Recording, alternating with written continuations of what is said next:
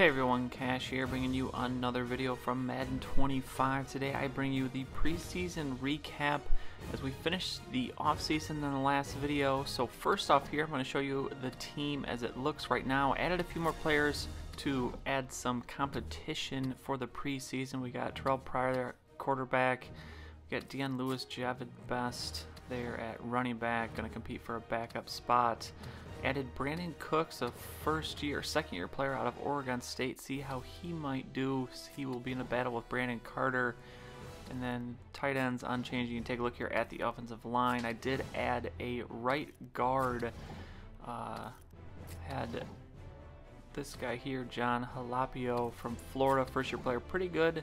Surprised he was in free agency, got released from, I'm not sure who, who he got drafted by. And then at D tackle, added a couple guys to fill out the depth there at D tackle because we only picked up one guy in the draft, didn't pick up anybody in free agency, missed out on our one target, so adding some depth there. And then I think that will be it for the free agent ads before we start the preseason. oh, excuse me, did add Bill Bentley, cornerback formerly from the Lions, threw him in there to add some cornerback depth.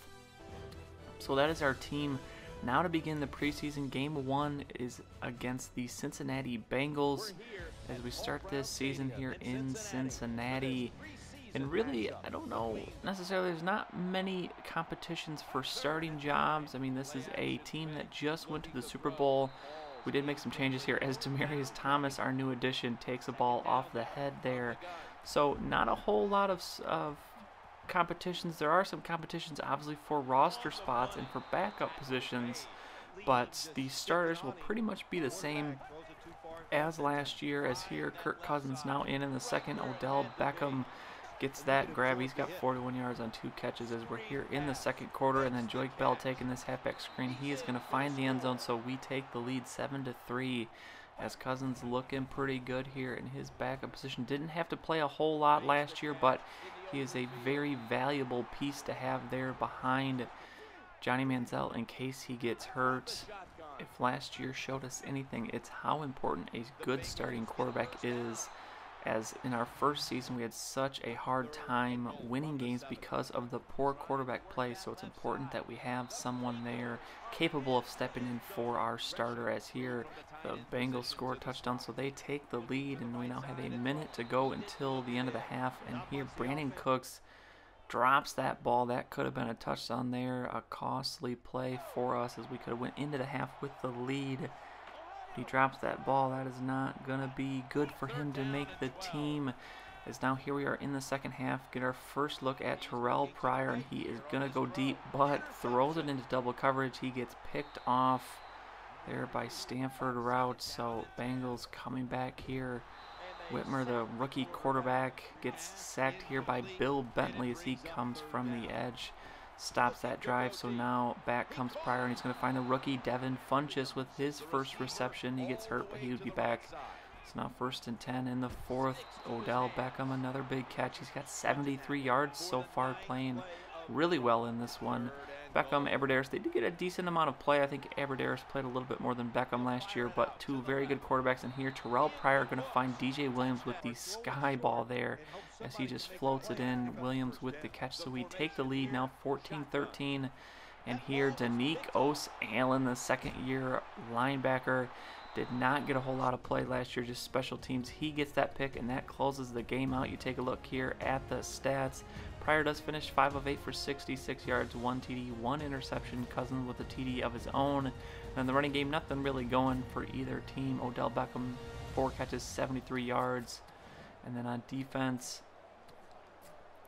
not a whole lot going on defense. Some sacks. Bill Bentley picks up a sack. And then Danico Allen with that huge interception to clinch the game. So we win that one. On to the second week of the preseason. We're going to play the Bills, and I'm going to show you here some of the transactions that we had so far. Tim Tebow, Jake Locker, uh, Wes Walker signed with the Titans, and then who we're looking for here, Colin Kaepernick.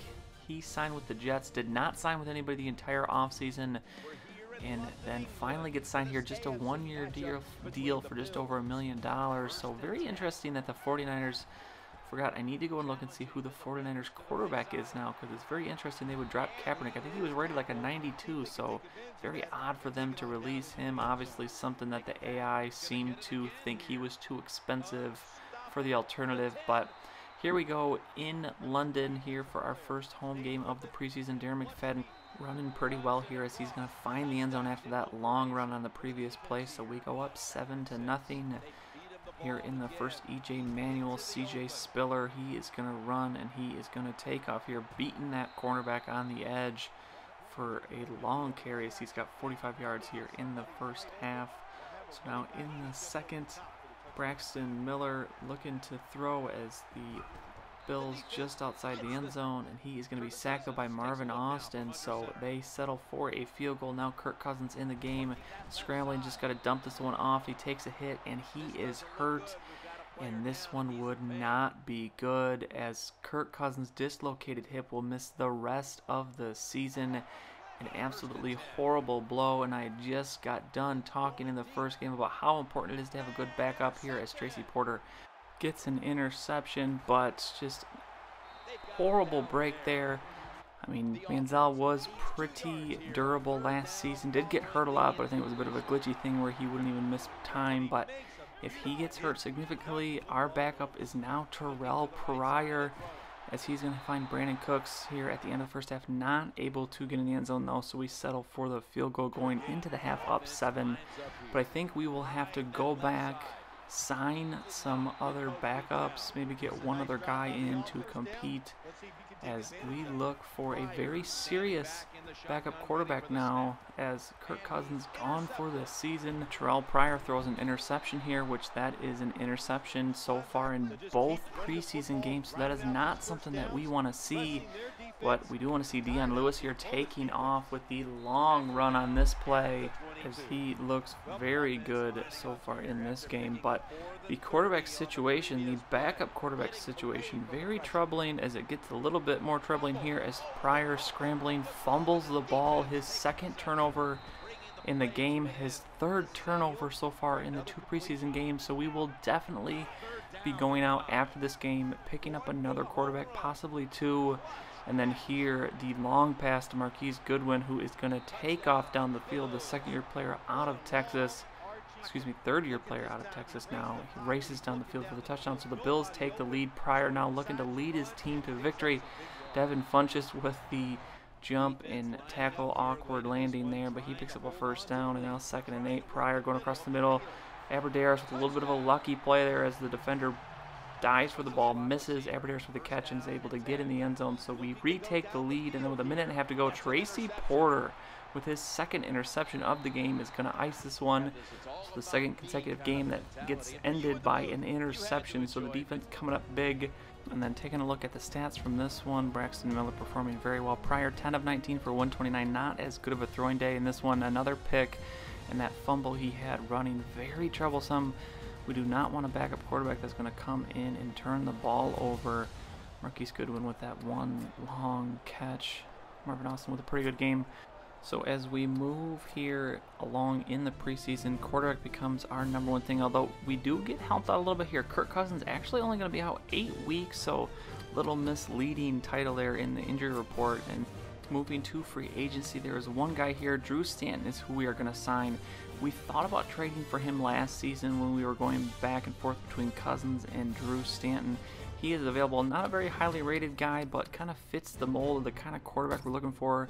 A maybe less of a Johnny Manziel. So we're going to bring him in, see how he does, and then we have to do a couple cuts. We're going to cut Bill Bentley.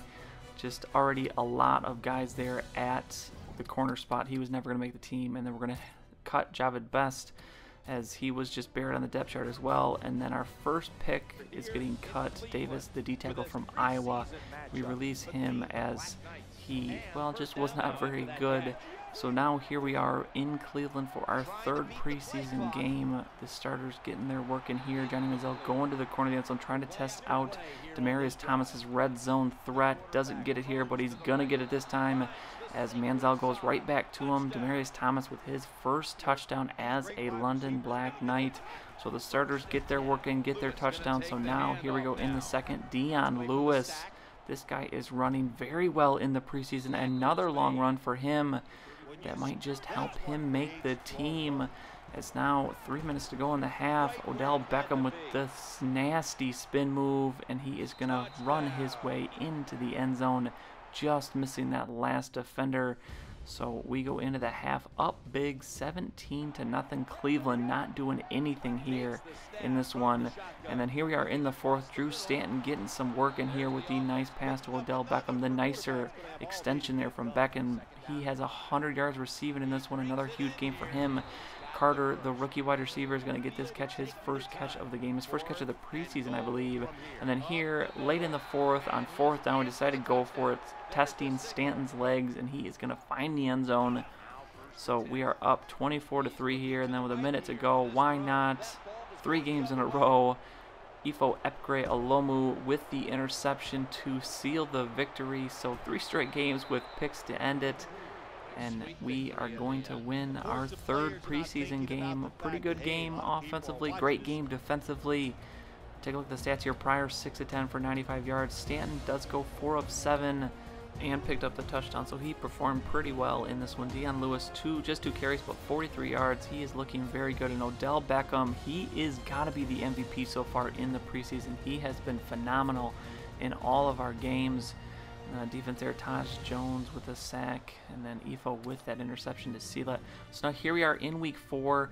We have a lot more cuts to make, but first, after looking at the free agency, there's a couple big names that have popped up in free agency. So we are going to make some cuts first to get rid of some guys. Drew Stanton Actually, when I say he's kind of a poor Johnny Manziel, he's also a poor Terrell Pryor. Terrell Pryor still a better option there, so we're going to get rid of Drew Stanton.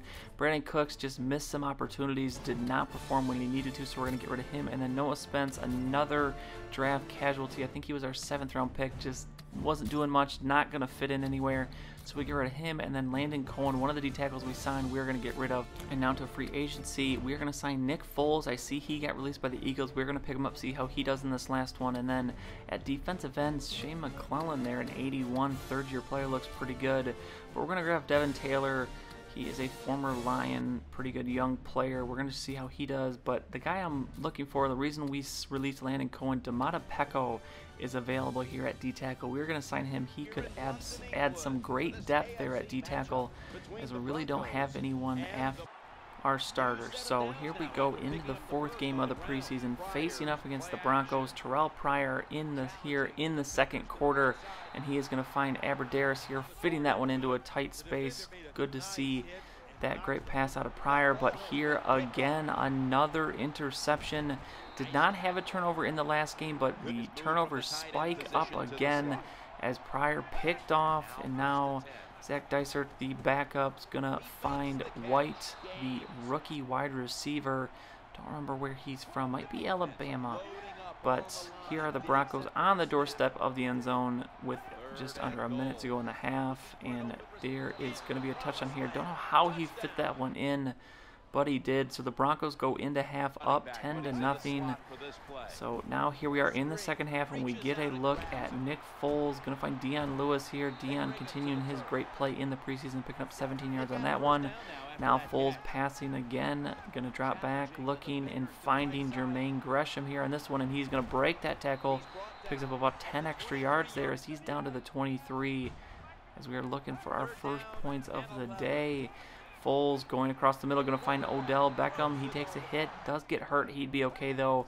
And then here we are on second and goal. Foles looking Foles looking, Foles waiting, Foles throwing. He's going to find Devin Funchess as he is able to make the catch after the ball just gets by the defender. Can't quite knock it down, so we pick up a touchdown there to cut the lead for the Broncos to just three, but back come the Broncos. Ronnie Hillman with this nice run as that closes out the third quarter. So now in the fourth, as another pitch here to Hillman, and he is running pretty well in this one, picking up another first down on third down. So we're Gonna need a stop here if we want a chance in this one.